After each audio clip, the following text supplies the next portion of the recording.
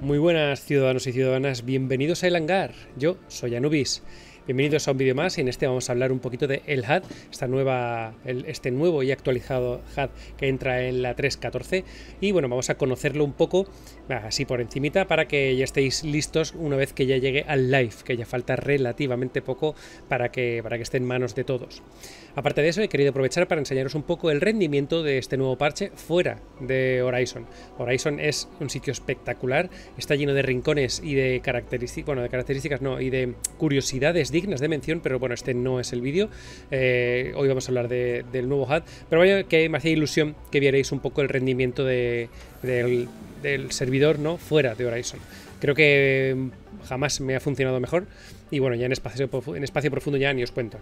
Pero bueno, sin querer enrollarme más, que no es el tema que nos, que nos atañe, vamos a hablar de este nuevo HUD y vamos a ver qué nos trae que es esencialmente igual, pero trae algunos cambios importantes que, son, que están bastante bien. Así que bueno, pues vamos a ello.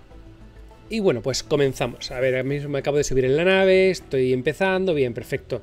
¿Qué es lo que tenemos en el HUD eh, estándar? ¿no? ¿Qué es lo que reconocemos a simple vista en comparación con, con, con otras veces ¿no? que hemos, las cuales hemos usado? Bien, lo primero, a la izquierda tenemos el clásico velocímetro. ¿no? Aquí vamos a ver la velocidad eh, también vamos a poder marcar si la aceleración está puesta automática o controlada. Ya sabéis que eso se hace con la, tecla C. Eh, también vemos en, rojo eh, la velocidad fuera, ¿no? La velocidad de crucero, más allá de la velocidad normal. Y después en, azulito claro, la velocidad segura de combate, ¿no? Después tú ya te puedes mover con la rueda de ratón, más o menos según necesites. Aparte de eso, se marca también la velocidad que llevamos en el momento. Aparte de todo esto, arriba a la izquierda del todo tenemos una línea de tiempo en la que se ven nuestras emisiones electromagnéticas e infrarrojas, más o menos para controlar eh, cómo de detectables somos. También abajo a la izquierda tenemos aquí unos diferentes modos de vuelo y también si teníamos, eh, por ejemplo, si volvéis atrás unos minutos o un minuto más o menos, podéis ver que cuando se está despegando y todavía no había recogido el tren de aterrizaje, se ve marcado ahí que el tren de aterrizaje está desplegado. Bien, como veis lo que es el salto quantum, ahí no ha cambiado nada. Así que bueno, pues tú haces tu salto, vas a donde tengas que ir y, seguimos viendo.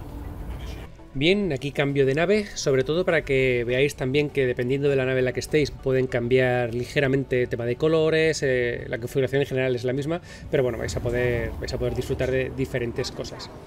Bien, voy a rebobinar hacia atrás porque me interesa que veáis un par de cosas antes de llegar al combate, ¿no? Vamos a, vamos a ver ese HUD. Nos centramos ahora en la parte de arriba. Bien, ¿qué es lo que tenemos aquí?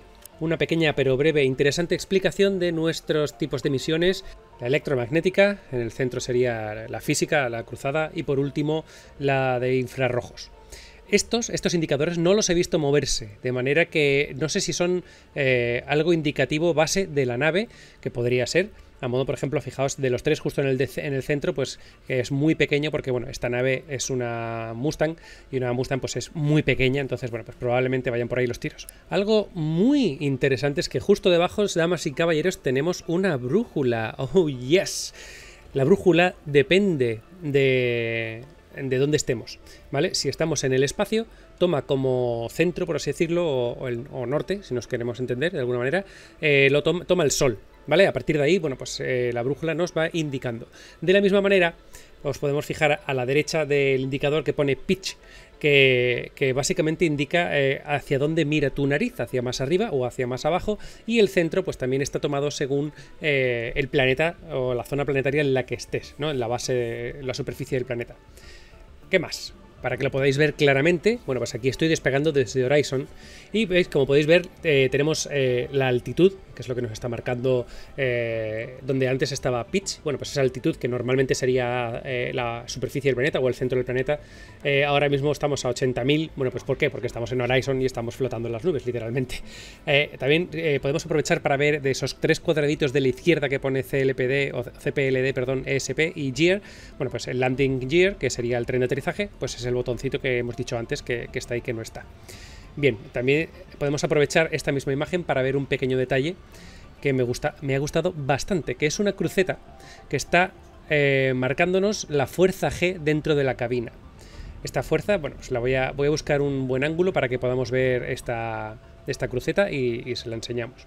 Y bueno, efectivamente, ahí la tenéis, veis que esa cruceta, bueno, pues tiene todas las dimensiones, arriba, abajo, izquierda, derecha y, hacia profundidad, ¿no? Hacia adentro y hacia afuera. Entonces nos va a mostrar la fuerza G que se está generando dependiendo de hacia dónde vayas. Es decir, si yo, si yo estoy virando hacia la derecha, eh, la fuerza G irá hacia la izquierda, ¿no? De manera que, bueno, es un poco una manera indicativa de saber qué está pasando. Pero bueno, ya que estáis aquí y estáis viendo un poquito más el HUD, apuesto a que os habéis dado cuenta de otros detalles. Por ejemplo, tenemos aquí mismo, a la derecha, los marcadores de combustible. Como podéis ver, combustible de hidrógeno, combustible quantum, es decir, la gasolina estándar y después la de quantum para hacer los saltos. Arriba tenemos la munición 23 de 23, eh, estamos con la munición completa. 23 son las balas que puede disparar el Panther Repeater que tiene la Sabre. Por supuesto, esto se recarga o no se recarga dependiendo de una serie de cosas. Y por último, bueno, pues tenemos también el indicador que nos dice eh, si nuestro gimbal, nuestras armas están fijas, estamos con una pequeña ayuda de, por parte del juego, o están totalmente libres, y después nuestros eh, medios de, huir de los misiles, ¿no? El decoy que se llama, cuando soltamos esas eh, distracciones, ¿no? Para los misiles. Pues bueno, perfecto. Pero bueno, como yo sé cómo sois y ya hemos hablado un poco de las armas, bueno, pues vamos, vamos a hablar de las armas, ¿no? ¿Qué, pasa con las armas? ¿Qué pasa con los misiles? Bueno, pues vamos a verlo. Estamos en Arena Commander y bueno, tenemos a un objetivo, es un bandul solitario, joven e inexperto, que no sabe dónde se ha metido. Y bueno, pues como de costumbre ya sabéis que nuestro objetivo se selecciona, podemos ver la retícula de hacia dónde debemos disparar, tan sencillo como, bueno, pues Vamos en su dirección, ya se pone verde, estamos a la distancia, disparamos nuestra picadura y el bandul pasa a mejor vida. Fácil, ¿no? Vamos a verlo otra vez. Solo que ahora nos vamos a centrar en nuestro indicador de munición, el cual, bueno, pues como veis baja rapidísimamente y en cuanto dejas de disparar, se recarga. Aquí hay varios datos que vamos a tener que tener en cuenta, como la cantidad de munición y la velocidad de recarga va a depender de la cantidad de energía que le dediquemos a las armas. Ya sabéis que eh, tenemos un triángulo de poder, un triángulo de energía en el cual podemos dedicarle más energía a los escudos, a los motores o a las armas. Por ejemplo, en un momento determinado, si ponemos toda la energía en las armas, pues su capacidad de munición aumentaría, de manera que tenemos más munición. Eso se puede ver fácilmente, pues bueno, nos vamos al triángulo de poder, lo cambiamos, lo podéis cambiar directamente con las teclas, están entre F9, F, 7 y F10, una cosa así. Y como veis, he puesto todo en energía, aumenta la capacidad y a la hora de recargar se recarga mucho más rápido. Interesante, pero si, si yo pierdo el escudo ahora mismo, bueno, pues se recargaría mucho más lento. De manera que, bueno, es interesante escoger el momento en el que quieres poner cada cosa. Solo como curiosidad y dato informativo, tener en cuenta que no todas las armas se recargan igual y no solo eso, sino que además de la munición también se recalientan. En este caso, estos cañones láser que están montados de, casa en, la Talon se recalientan a cierta velocidad, una velocidad bastante mayor. De manera que hay que tener en cuenta cuando estés en combate que eh, si dejas mucho rato pulsado el ratón, pues probablemente eh, pierdas eh, esa capacidad de disparo. Así que hay que saber cuándo y cómo disparas para no cometer un error y quedarte vendido en un momento determinado, que es algo relativamente fácil. Tú crees que puedes dar, crees que si impactas, poco a poco te vas quedando sin munición, tu arma se recalienta y te puedes presentar en un problema en el que la nave está a tiro y tú no puedes hacer nada contra ella. Encima te dispara, ¿no? Ahí a muerte. Bueno, ¿y qué es lo que ocurre si tienes diferentes o distintos grupos de armas? Bueno, pues evidentemente o por regla general estarán conectados a diferentes clics, ¿no? clic derecho, clic izquierdo, dependiendo del arma, o tú ya mismo te lo puedes bindear donde tú quieras. Básicamente podrías disparar tus armas de energía para echarle abajo esos escudos lo mejor posible o lo antes posible, y después tendrías tu, tu arma balística en otro... Eh, en otro botón, ¿no? Básicamente aquí no hay mucho más que explicar, que es nada que ya no, que nada que no sepáis. Y por último, bueno, pues es un poco la conjunción de todo lo que hemos hablado. Eh, la munición física se gasta, entonces, bueno, pues cuanto más disparéis tal, también se recalienta. La munición de energía se gasta, aunque se recarga al ratito, pero también se recalienta. Y bueno, pues tener un poco de atención a que si lo usas todo a la vez, bueno, pues puedes llegar un momento en que, eh, que te quedes vendido. Hay que saber un poquito qué gastar, cuánto y cómo. O sea, que añade un poco de estrategia a, todo el combate. Lo cual me lleva directamente a la última fase de las armas, que son los misiles. Es la parte menos eh, estratégica, pero a su vez, pues terriblemente mortal. Como veis, este es el nuevo HUD, ahora se, se podría disparar y he disparado tres misiles a la vez. ¡Wow! Esto no era una cosa típica, ¿no? A ver, ¿cómo hemos hecho esto? Pues rebobinamos.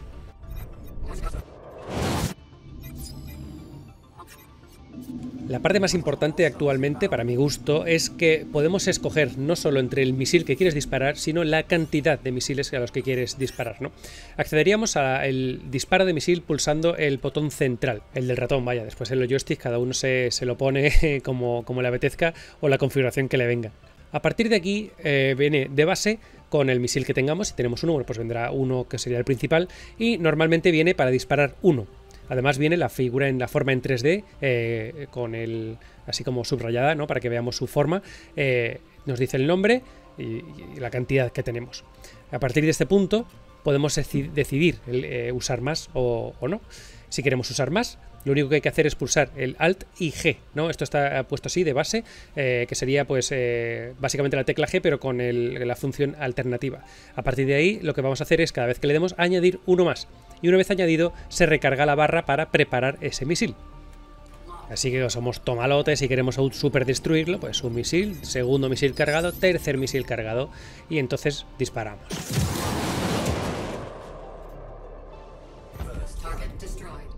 Y bueno, pues como existen diferentes tipos de misiles, puede ser que nos interese usar uno u otro. Así que con el clic derecho del ratón, en el caso del teclado ratón, cambiaríamos el tipo y bueno, pues cuestión de dispararlo y punto.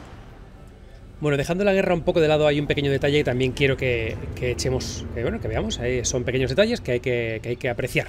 Por ejemplo, fijaos que acabo de poner el Quantum Travel, lo que es el HUD del Quantum, y no desaparece nada. Ya no tenemos que volar a ciegas mientras tengamos nuestro HUD de Quantum activado.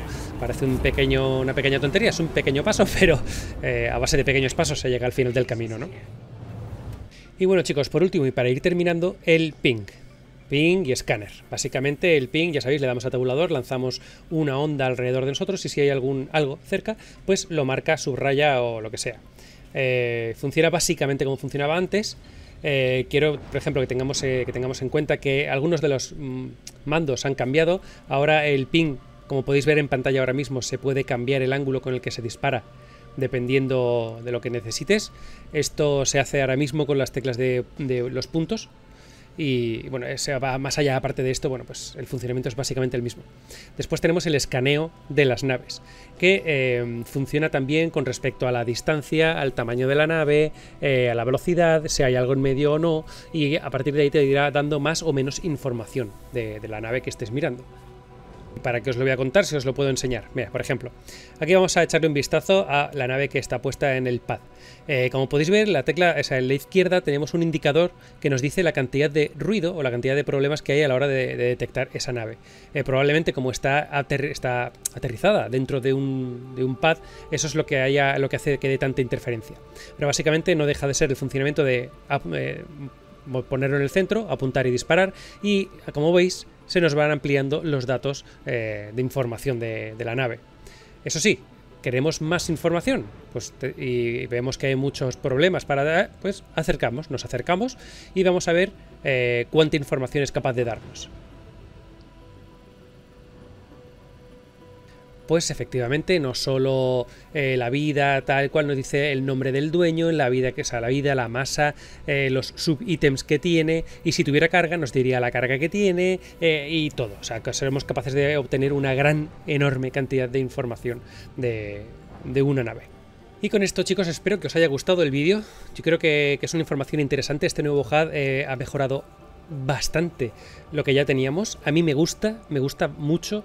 Eh, por supuesto, hay que seguir dándole, dándole caña, a ver qué podemos sacar de él, a ver qué, cuáles son los límites de los HUD. Esto ha sido un primer acercamiento, o sea, probablemente me haya dejado algo. Bueno, si es así, me lo podéis comentar en, la caja de comentarios, por supuesto. Pero si no, pues ya, haremos una, investigación más exhaustiva, sobre todo eh, para, yo creo que para esta 3.14 vamos a volver a renovar eh, esos vídeos de cómo empezar a jugar en Star Citizen, porque la cosa se, se complica cada parche. Bueno chicos, pues lo dicho, espero que os haya gustado. Eh, si ha sido así, ya sabéis, dejadme un like, un comentario y suscribiros si no estáis suscritos. Así que nos vemos, pues por lo menos en el próximo vídeo, ¿no? Chao.